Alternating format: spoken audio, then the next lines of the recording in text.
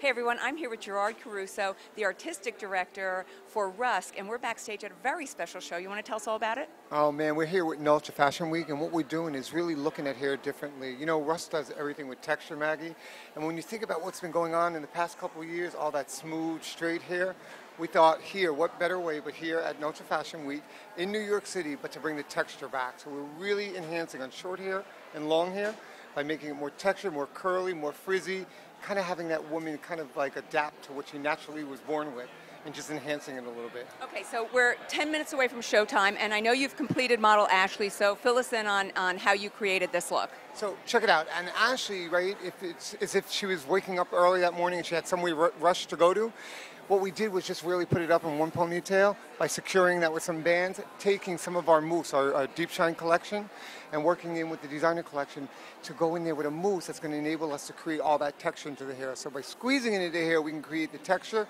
and the volume, but not having that heavy wet or shine look to the hair.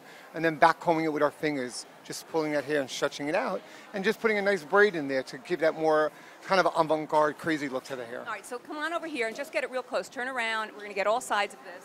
Ooh, fun little color in there. That's uh, that's hers. That's her, all her natural uh, color that was placed in. She had some color done not so long ago on the top, kind of to create dimension in the hair so you could see all that enhancement throughout the top, kind of diffuse out through the bottom and the back. Oh, this is gorgeous. So, uh, you know what I'm finding very interesting is this season, I'm seeing a lot of braids, oddly, which I thought would be a trend that would be kind of over by now. What's up with that? Well, well, you know, the whole idea is that, you know, what, with, with different ways to create a braid, whether through an extension or through their natural hair, you know, it's making it so much easier for them to take something as crazy and chaotic as that, but still have a little bit more glam to it. So you're going to see a lot more braids, whether they're kind of fishtailed, but you're going to notice one thing. Every braid you guys see in the future is going to be messed up a little bit, and it's going to add a little bit more texture. So weightless allows us to create all that texture, and we're going in there by braiding the hair, you're just going to back comb the braid as well.